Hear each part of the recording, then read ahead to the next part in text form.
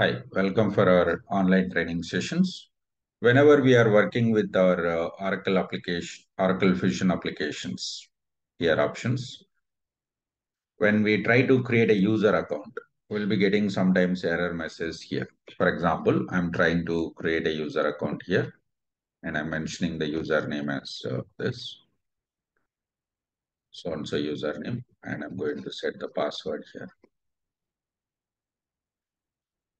And if required, we can add the roles. Otherwise, uh, without roles also, we can have the users. But users cannot perform any operations without roles here.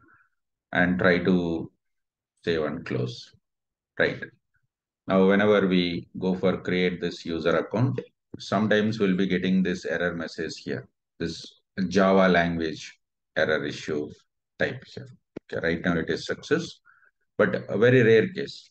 Okay, that time what we have to do is you have to go to your uh, setup and maintenance. At enterprise level, we need to check the setup here. Go to the task here, enterprise HCM information. Go to enterprise HCM information. So manage enterprise HCM information is one of the important tasks where we will be performing all the human capital management related setups like workday information, nothing but office timings for employees, worker number generation, person number generation. Person number means employee number. How about employment model and uh, salary level? Okay, currency support here. Here is actual, uh, we will see the user account uh, creation. Uh, make sure that your user account creation is enabled. So go to edit, correction. Go to edit and correction. And here you can choose that both persons and party users are party users only. Person means employees. Party users are nothing but suppliers as well as for the customers also. Okay, this is user account creation and user account role provisioning. It's basically when we are working with the roles, uh, there is a concept called role provisioning rules that we can apply it for both persons or party users or not here.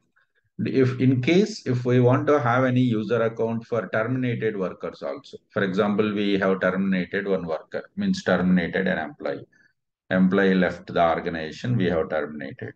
But still you need access to our uh, application then we can provide this option here so why we required to provide uh, after termination also there might be some pending uh, issues like maybe disbursement any any leaves uh, calculation or final settlement is pending. In that scenario, employee wants to log in and uh, cross-check their uh, information. After termination also, will give the permission for the terminated workers to access the application here. To access the application over here, then it's going to be used. So most of the times clients will not use that. Here it will be specified over here. Let's go for uh, review this a lot of other uh, setups will be there, position synchronization and other, but generally we don't use that. Uh, this is human capital management mainly they will be using.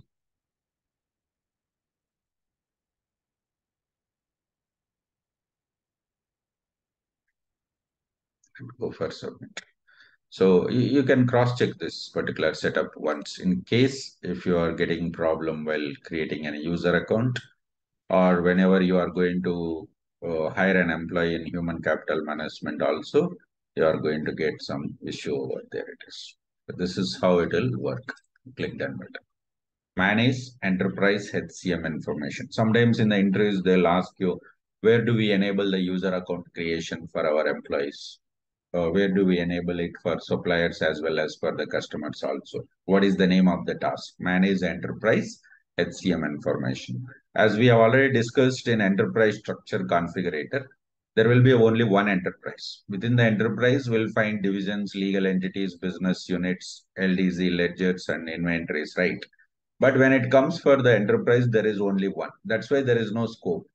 We don't find the scope when you try to open this particular uh, task called manage enterprise HCM information because directly the enterprise will be open. If it is legal entity or business unit, system will ask you choose the legal entity or choose the business unit so that the corresponding uh, organization data will be populated over here. Okay.